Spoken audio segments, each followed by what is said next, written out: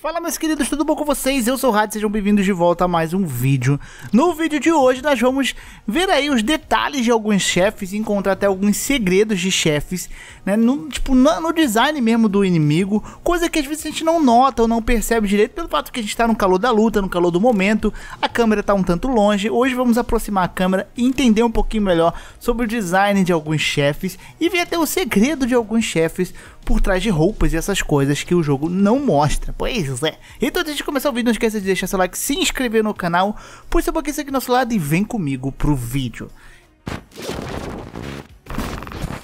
Vamos começar aqui com dois. Esses dois foram feitos, né, descobertos mais por modders que conseguem tirar partes ali, tá, do, do da, da manta do inimigo, por exemplo, do boss, e consequentemente descobrir algumas coisas interessantes, tá? E os últimos são que eu mesmo gravei aí usando ali a câmera, né, dando uma bugada na câmera do jogo e conseguindo captar. O primeiro que nós temos aqui é o Grafted, que é aquele primeiro boss que a gente enfrenta lá no início do jogo, né? Que basicamente derrota a gente. Ele é uma versão um tanto meio que inferior à versão do Godric, que é um monstro também todo enxertado, cheio de pedaços de parte de corpo. Tipo, ele tem dois pés, ele tem um milhão de mãos, né? Ele tem, tipo, pernas com escamas. E além disso, ele segura né, várias armas aí relacionadas à nobreza e um escudo. Esses vários braços permitem ele segurar isso. Tem um rosto ali que parece um rosto até de uma forma mais adolescente, tanto infantil, com uma coroa, o que dá a entender que foi um nobre ali infantil que passou por isso, né? Um nobre mais novo que passou por isso. E também misturado a isso, né? Ele tem o braço dele oficial, original, que tipo usa um, umas joias que mostra ali uh, o status dele e possui até pedaços de penas aí de animais. Então foi uma mistura muito louca que aconteceu com esse boss aí, né? de vários braços de criaturas diferentes, espécies diferentes, e ele se tornou isso. Também a manta dele foi removida pra gente ter um vislumbre melhor. E é muito bizarro a forma dele, porque, tipo, a conexão é feita por uma espécie de coluna, são meio que duas colunas vertebrais, passa uma coluna por trás e outra por cima de algo que parece, sei lá, não parece corpo humano, parece realmente algo relacionado a pássaro misturado com aqueles troll, né? Aqueles bichos gigantes que a gente encontra no jogo. São tipo três colunas vertebrais, uma de cada canto. Muito bizonho esse bicho sem capa. Ele fica muito mais assustador. A gente consegue ver a, como o braço dele se alonga tanto, porque são vários outros braços, meio que de mão dadas, entre aspas se juntando. E é muito interessante esse detalhe que eles deram pro bicho sem capa, tá? Mesmo que você nunca vá ver ele sem capa, a não ser que o cara seja um modder e consiga remover isso. Muito legal. E a gente consegue ver um pouquinho sobre como eles tiveram detalhe até para construir realmente o resto do bicho, a parte de cima dele. Em muitos jogos, geralmente, quando tu remove a armadura ou a capa, tá? Até eu acho que eu acredito que no Dark Souls Elder Ring tem inimigos que são assim, mas nesse caso não é. Se você remove geralmente o NPC ou o inimigo eles não têm tipo o design do corpo, eles ficam vazio por dentro, né, como tipo, como se fosse invisível o torso se você remove, por exemplo, porque eles não precisaram fazer aquilo ali porque ninguém vai ver a princípio. E aqui eles fizeram, ficou bem legal, né, e bem interessante ver como é que é esse boss.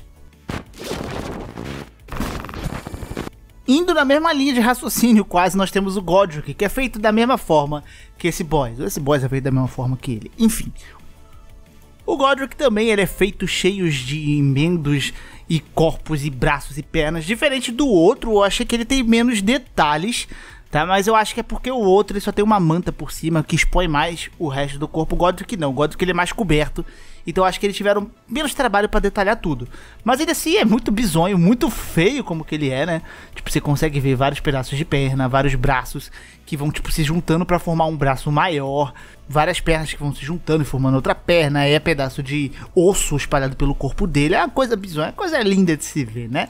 É assim que realmente ele fica por trás da manta. Acho que ninguém gostaria de vê-lo desta forma, né?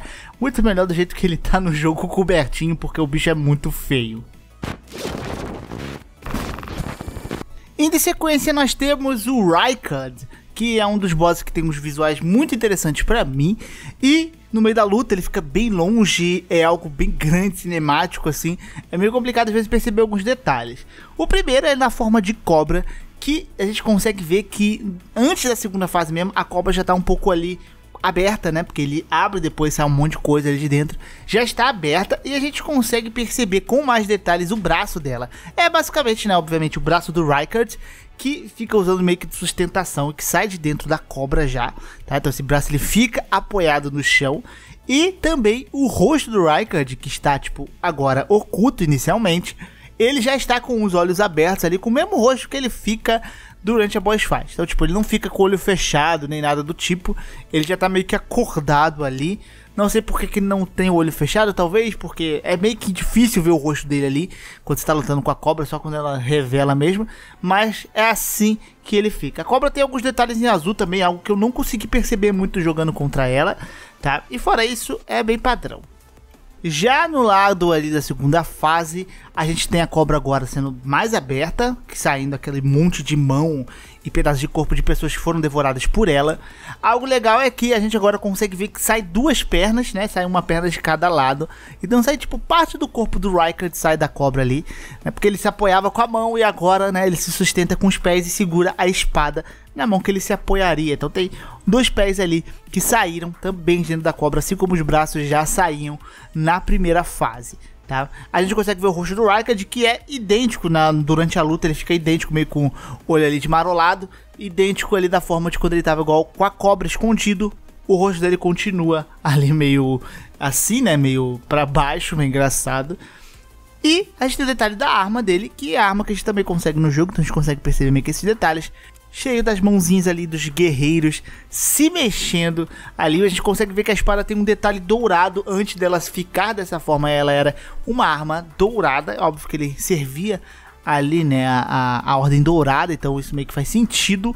E a gente consegue ver que no meio dessas mãos existem outras mãos um tanto maiores, provavelmente guerreiros mais poderosos, não sei, que também saem dele, mas que não ocupam um papel como se apoiar nem nada, elas são realmente maiores que a maioria. E esse aqui são os detalhes do Rykard, bem interessante que a gente consegue perceber. E por último nós temos o General Radam. Aqui no General Radam a gente consegue ver alguns detalhes que a gente já vê meio que na luta, mas um pouco mais de perto a gente consegue ver ali a falta dos pés dele e como ele também coloca gravidade nos pés. É como se os pés dele, né, o apoio dele fosse com essas gravidades dos pés. Caso ele não esteja usando cavalo, eu acredito que ele conseguiria andar normalmente.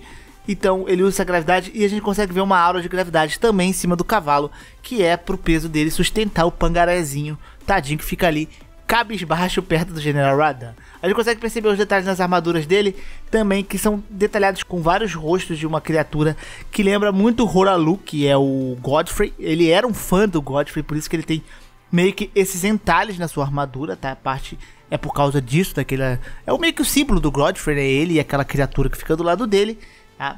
Então a gente tem esse visual frontal aí de General Radan e esses detalhes de gravidade que o jogo colocou, mostrando que ele usa a gravidade para se sustentar no pangarézinho.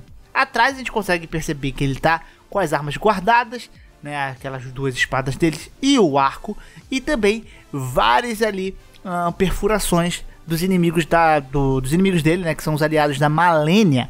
E a gente consegue ver que meio que esses negócios já estão há tanto tempo que meio que tá tipo enraizado tem, parece algo que é uma teia de aranha. Não sei se chega a ser uma teia de aranha isso aqui.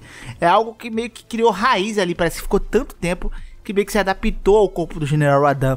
Essas perfurações. Talvez seja também um pouco de podridão escarlate ali. Enfim, né? E por último a gente tem o rosto do General Radan. Que está 100% pistola o tempo inteiro. Algo que a gente não consegue perceber muito, né? No meio da luta, a câmera longe. Sim, ele tá pistolaço ali, com a cara de raiva, boladão. É, essa é a feição do General Radan durante toda a sua luta contra você.